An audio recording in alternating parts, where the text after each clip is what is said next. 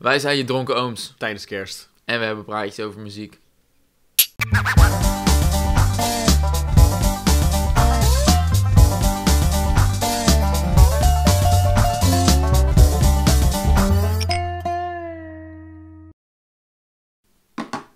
Dus. Als ik nu vuur kon spuwen, dan deed ik het gewoon recht in die microfoon. Vrolijk kerstfeest! Hey. En natuurlijk zijn we hier om een kerstalbum even te reviewen. Ho, ho, ho. En dit keer gaat het om het album van Sia, Every Day is Christmas. Ja. Moet je even kijken hoe zuur die albumcover is. Wat ik heel erg fijn vind aan dit kerstalbum is dat het gewoon allemaal originele nummers zijn. Dus het zijn geen covers eh, of reworks. Ik vind het gewoon eigenlijk best wel bewonderenswaardig dat ze, Het, het kan nog. dat, ze, dat ze zelf nummers heeft bedacht. Het kan nog. Ik bedoel, Zelf kerstnummers maken. Hoeveel, hoeveel invalshoeken kan je nou nog bedenken op het hele kerstfeest? Of je bent verdrietig tijdens kerst, of je bent blij tijdens kerst, of je hebt over de sneeuw tijdens kerst. Het is allemaal wel een beetje uitgemolken eh, op dit punt. Ja. Maar laten we even luisteren hoe je het hebt gedaan. En of jij gewoon de soundtrack bent van onze kerstfeest. Om te beginnen met het nummer Santa's Coming For Us.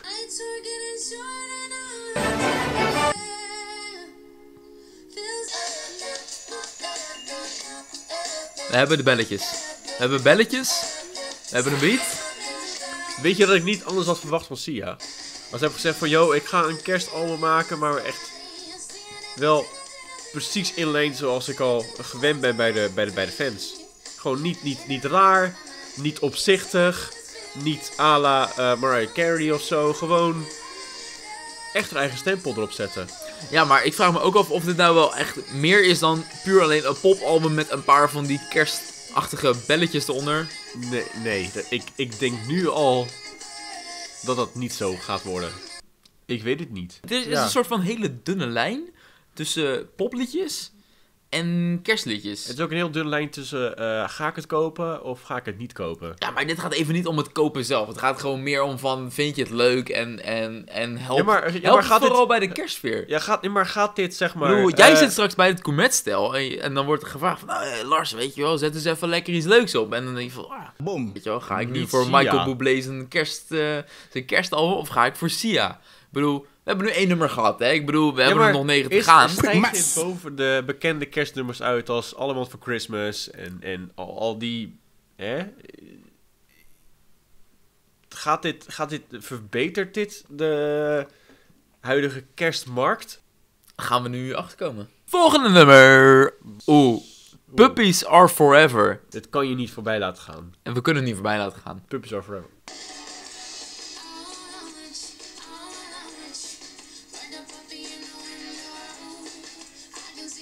Het klinkt een soort van zwaarder dan dat ik had verwacht.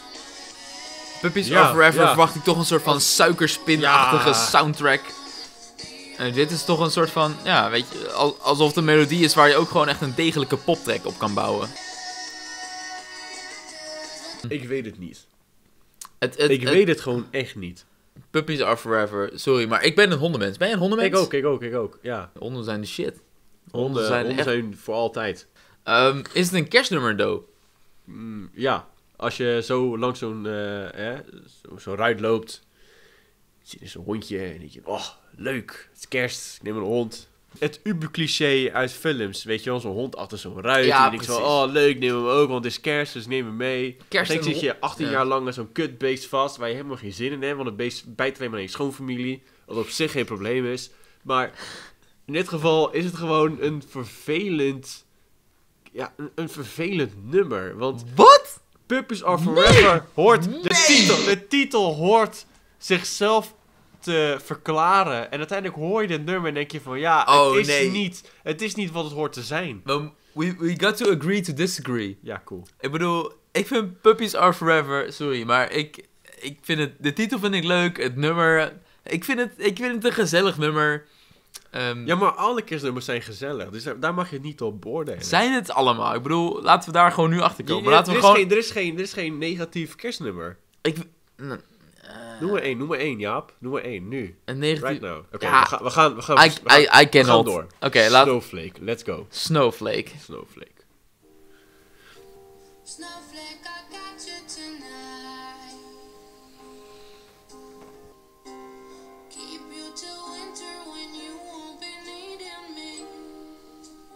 Vind ik mooi. Want Snowflake, alle, alle sneeuwvlokjes zijn uniek.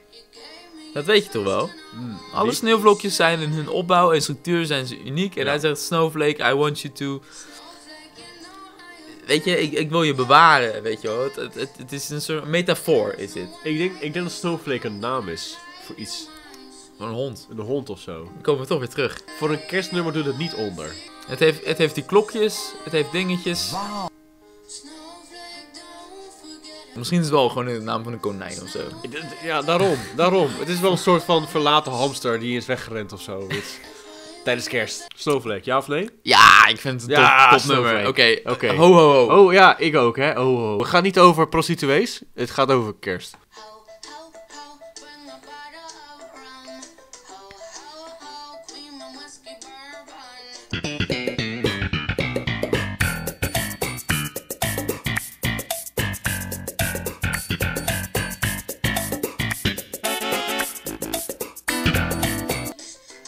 Een stoer, kerstnummer. Een stoer kerstnummer, ja. Als je kerst zou wegdenken, zou het gewoon een solid radionummer zijn. Absoluut. Oké, eerlijk. Ho ho ho, is gewoon. Fuck, goed nummer. Weet je, eh, lekker actief, lekker stoer, lekker, weet Ja. je al, doorpakkend. Een beetje Gwen Stefani-achtig. Ik krijg er Gwen Stefani-vibes van. Hey. Ja, Gwen Stefani-achtig. Solid, brother. Solid. Het is lastig om originele kerstalbums te maken. Dat is zo. Maar ik vind dat Sia toch een soort van. Weet je, het, het, het- is een hybride. Het is een hybride tussen een popalbum en een kerstalbum. Waarvan ze zeg maar in dat popgedeelte genoeg van zichzelf giet. Ja, Om het kerstgedeelte heel erg te kunnen. Ja. ehm, het is, know, is een te van, een, van een popmuziek en je wilt zorgen voor, ook weer zorgen voor een originele, originaliteitscrisis. Het is een leuk album, maar het haalt niet de kwaliteit wat al gehaald is eerder. En ja, zie het vooral ook Ja. als echt een oprecht nieuw album van een Sia. los album. Met een flinterdun kerstsausje Ja. eroverheen. Ja. En ik denk dat ik misschien wel meer nummers leuker vind dan jij.